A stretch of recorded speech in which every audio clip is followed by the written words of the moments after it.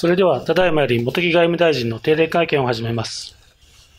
大臣、お願いいたします。あの、ちょうど今まで、えっと、あの、日豪のですね、あの、外相会談やっておりまして、若干時間伸びましたんで、あの、会見の時間も遅れました。あの、え、張り出しをしましたが、まだ内容については、まだ聞いてない。じゃあ、あの、改めて言います、ここで。えっと、先ほど1時45分から、えー、45分くらいだったと思いますけれど、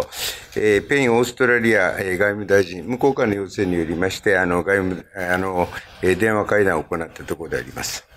まず、あの、えー、ミャンマー情勢についてですね、えー、突っ込んだ、まあ、意見交換を行いまして、えー、双方の、えー、現状認識と、まあ、懸念を、まあ、共有し、民主的な政治体制の早期回復や、アウン・サン・スー・チー最高顧問を含みます拘束された関係者の解放を国軍に対して強く求めていくことで一致をしました。その上で、ミャンマー情勢について引き続き日豪で緊密に連携していくことを確認いたしました。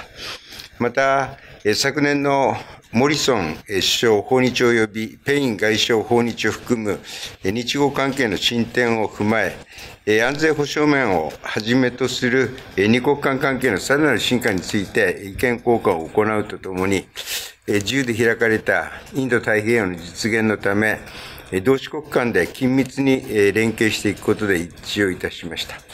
また、日日米豪印、クアッドのですね、連携を強化していくことで一致をしたところであります。さらに、中国についても意見交換を行いました。東シナ海、南シナ海を含みます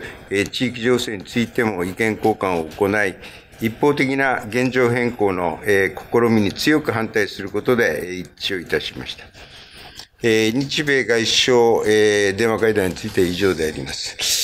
それからあと2点ほど簡単に申し上げます。米国時間の6日、ジョージ・シュルツ元国務長官がお亡くなりになられました。シュルツ国元国務長官は、1982年から89年にかけて、国務長官をお務めになり、ロナルド・レーガン元大統領とともに、冷戦終結に尽力するなど、国際社会の平和と安定のために多大な貢献をされました。また、国務長官在任中も、また、退任後も、日米両国の協力を推し進め、現在の強固な日米同盟の基盤構築に多大なる貢献をされました。同長官に心からの敬意と感謝の意を表します。私自身もあの昨年1月、サンフランシスコを訪問した際にですね、シル長官にお目にかかることができて、大変光栄だったと思っております。そのにちょうどあの日米安保60周年のあの記念式典、1月19日にあの東京の方で開催をするということで、それに向けたシル長官からの祝辞をいただいたことにも、改めて感謝をしたいと思います。あの、今回の訃報に接して、心から、ご冥福をお祈り申し上げます。もう一点だけ、えっ、と、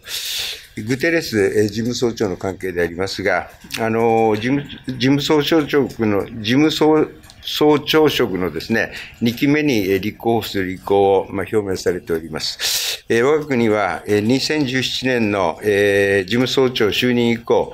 国際の平和と安全、開発、気候変動、新型コロナ対応と国連が取り組む幅広い分野において、優れた指導力を発揮するグテーレス事務総長と緊密に協力をしてまいりました。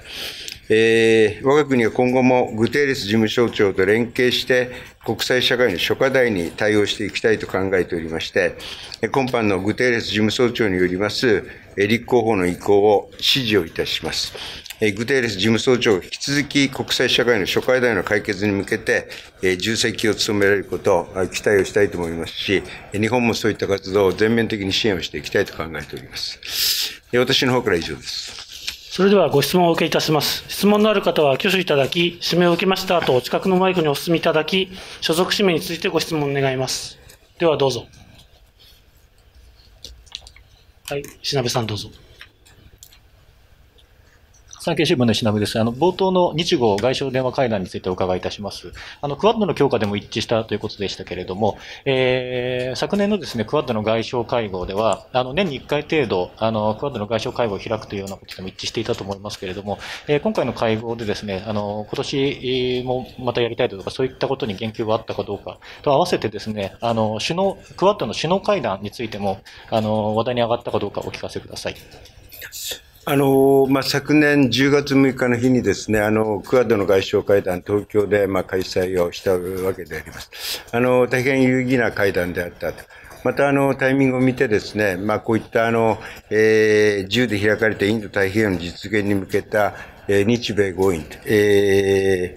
ー、4国間のですね、連携を強化すると、えー、その、まあ、重要性について、あの、一致を見たところであります。あの、具体的な、えー、外相レベル、首脳レベルのですね、えー、クアッドの、まあ、日程であったりと開催する云々については議論しておりません。次のご質問どうぞ。では、そちらの方どうぞ。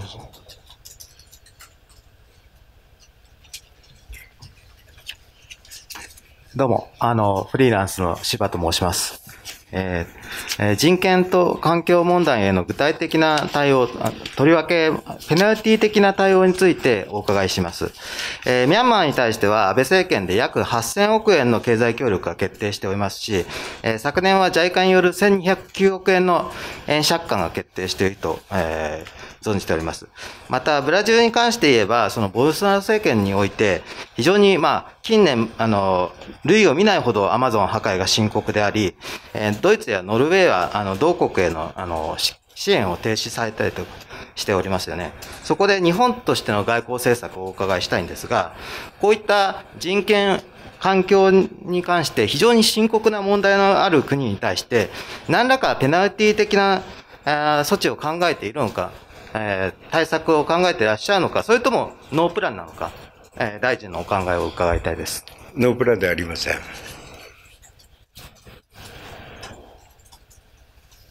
では次のご質問どうぞ。はい。もっと話しますか？あのーえ人権の問題、これが蹂躙されると、これについては日本としてもこれまでも厳しい措置を取っております。その一方でですね、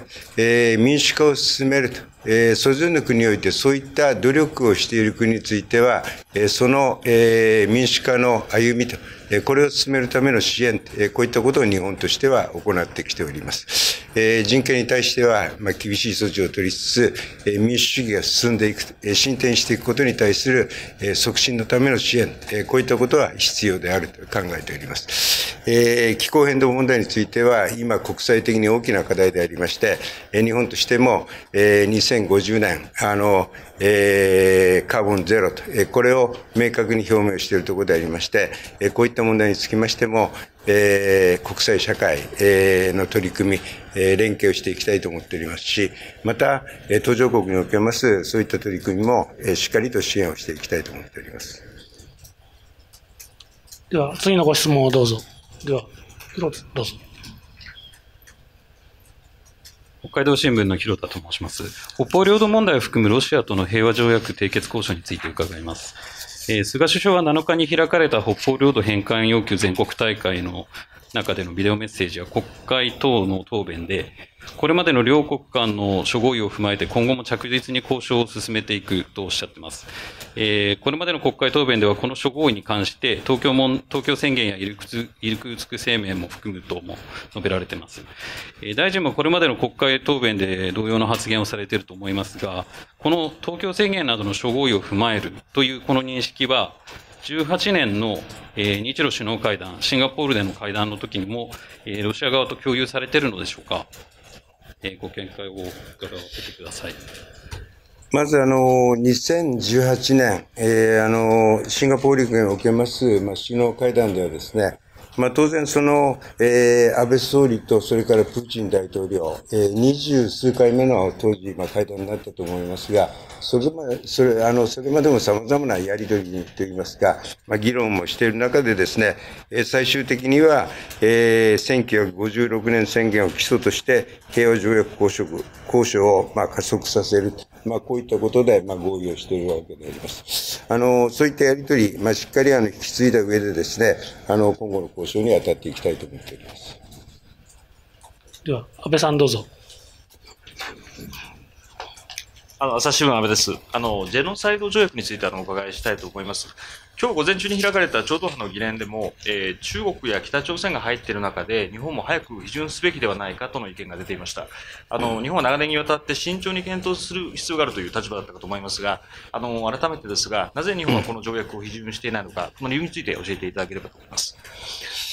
あのー、この、えー、集団殺害犯罪まあ、あの、大きく、まあ、法体系といいますか、一つはあの ICC のローマ規定というのがあるわけでありまして、えもう一つあのジェノサイド条約というのがあるわけであります。あの我が国はですね、え集団殺害犯罪のように、え国際社会全体の関心事である最も重大な犯罪を起こした、犯した者がですね、え処罰されずに済まされてはならない、えこう考えております。えこうした犯罪の撲滅と、まあ、予防に貢献するとの考え方のもとでですね、え ICC ローマ規定加盟国として、その義務を誠実に履行してきているところであります。一方、あの、ジェノサイド条約の方はですね、締約国に対しまして、集団殺害の行為と犯したものを国内法によりえ犯罪化する義務を、ま課しております。また、え処罰対象とする、え行為については、ICC ローマ規定において処罰対象とする行為よりも広く、ま規定をしている。えまあ、こういった中でですね、あのえ日本は ICC ローマ規定には加盟をしているわけでありますが、まあ、今後、ジェノサイド条約の締結を考えるにあたってはですね、え今申し上げた点、え我が国におけますジェノサイド条約締結の、必要性、また、え締結の際にですね、必要となる、え国内法整備の内容等につきまして、あの、これ関係省庁でも議論する必要があります。あの、引き続き、あの、慎重に、ま検討していきたいと思っております。次のご質問どうぞ。それではじゃあそちらの方どうぞ。IWJ 木原と申します。よろしくお願いします。えっ、ー、と、尖閣問題について伺います。えー、中国が、あの、海警局の武器使用を認めた海警法の施行後、えー、海警局の船が相次いで尖閣諸島の周辺の領海に侵入しました。えー、尖閣地理的に、えー、台湾問題と直結します。中国が、台湾は最も重要かつ敏感な革新的問題と主張する一方で、えー、米、あの、米国の駆逐艦が4日に、えー、台湾海峡を通過し、えー、中国の反発を招いております。尖閣への中国海警局の船の領海侵入も、えー、挙手的挙手的に見れば、えー、米中対立激化の一部と思われます。これに、日本が米国側に立って、えー、中国との対立を深めることは国営的にかなうのでしょうか。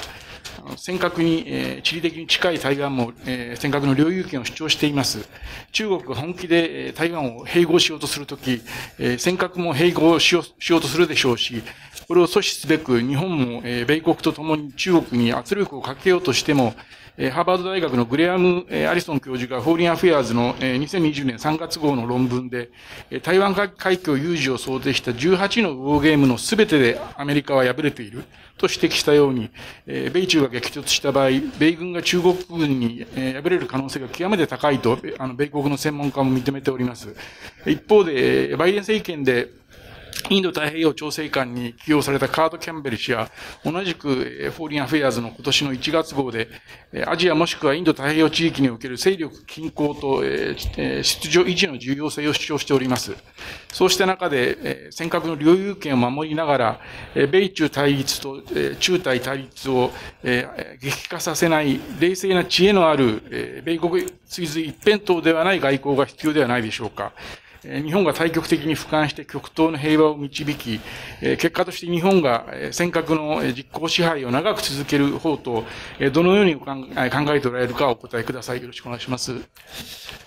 あの、おそらくですね、あの、お話の中にありました、あの、グレアム・ティアリソン、あの、築地ですの、築地ですの罠の中で言っておりますですね、えー、論理の中で、これが今、えー、米国と中国の関係に当てはまるかと言いますと、えー、多くの論者は当てはまらないと、えー、現段階においてと、えー、こういう論説の方が私は多いんではないかなと、まあ、こんなふうに考えているところであります。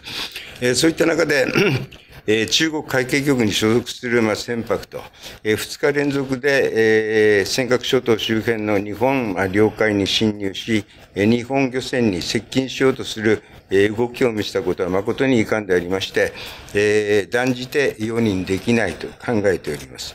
あの、このような、えー尖閣諸島周辺の、えー我が国領域内で独自の主張をするといった、えー海警、え船舶の活動は国際法違反であり、これまで中国側に厳重に、まあ、抗議を、ま、してきております。あの、えー、様々な形でですね、えー日本とその米国で連携をする、あの、ケースというのもあるわけでありますが、まあ、この、えー船海警、えー海警船舶の活動に対する、まあ、抗議というのは、日本として独自に行っているものであります。また、こうした中で2月1日に、えー中国海警法が制定されたこと、まあ、深刻に懸念をいたしております。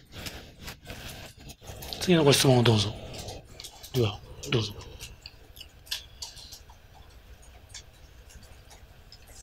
2回目で失礼いたします。えー先ほどの質問、ちょっと私の聞き方が悪かったんですけども、あの、えーちょっとシンプルに、あの、聞かせていただくと、その、例えば、あの、経済協力の停止ということは、あり得るのか、それともないのか、そこはちょっと、あの、えーそのミャンマーとブラジルの件について、あの、お伺いしたいと思います。あの、外交というのはですね、様々な要因の中で、まあ、今後というのを見据えていかなければなりません。あの、一つの時点において、様々な外交手段等々について、えーあるのかないのかと、一律的にですね、えーこの時点に限ってお答えすることはできません。では、次の質問をどうぞ。石鍋さんどうぞ。産経新聞の石です。あの、日韓関係についてお伺いいたします。あの、韓国外交部の長官にですね、チョン・ビヨン氏が就任いたしました。あの、日韓関係慰安婦問題や、あの、元徴用工の問題で冷え込んだ関係が続いておりますけれども、えー大臣、新しい長官にどのような役割を期待されますでしょうか？あの、チョン・ウヨン氏が、あの、外交部、あの、外交部長官に、まあ、任命されたこと、まあ、昨日ですが、まあ、あの、承知をいたしております。あの、まあ、日韓両国お互いにとって重要な隣国でありますが、ここ数年、韓国によって国際約束が破られ、二国間合意が実施をされておらず、え日韓関係はかつてなく、まあ、厳しい、ま、状況にあるわけであります。